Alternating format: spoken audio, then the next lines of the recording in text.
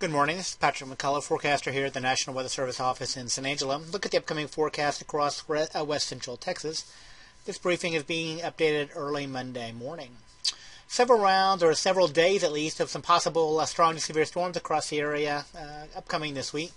Starting the day off, though, today uh, with uh, just dry conditions, with uh, warm for the afternoon.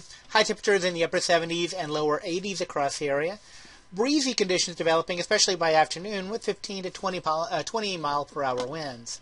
Now, we do expect to see some storms develop across uh, yeah, Trans-Pecos and the Permian Basin late this afternoon, and then move into west central Texas during the evening and then into the uh, overnight hours. Uh, I think uh, for most areas, we're looking at uh, some, some storms that are probably below severe levels, but there is a risk of a few uh, reaching severe levels, or at least approaching severe levels, across the extreme western portion of the area, say west and northwest of a, a Sterling City to Sweetwater to um, Hamlin and Haskell line. Again, I think for most of west central Texas, we're probably looking at some gusty winds, some dangerous lightning, perhaps some uh, brief heavy rainfall. These storms move across, say, late tonight and into the uh, morning hours on Tuesday. After that, I think the next chance of storms will be uh, coming up on Wednesday, uh, late Wednesday afternoon into Wednesday night. Uh, these storms look to be a little bit stronger and cover a little bit more of the area. Granted, the greatest risk area will be across the uh, northern big country north of Interstate 20, up around Haskell and Throckmorton, maybe down toward Hamlin and Albany. Further south, though, I think the, the chance of storms is a little more isolated, but if a storm does develop, certainly has the potential to reach uh, severe levels. Again, just about anywhere across the area.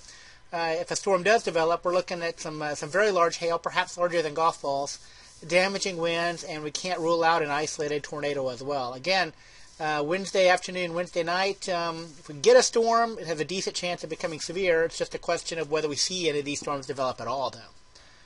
After that, again, when more storms coming up uh, into uh, late in the week and into the weekend, Friday and Saturday look to be the uh, most likely day for storms. Again, we're pretty far out to be able to tell whether they'll be severe or not, but uh, looking at the middle of May, it's always hard to rule out severe storms. So something we'll be keeping a very close eye on as we get later in the week and kind of can nail down that uh, severe, uh, severe weather potential as we get closer.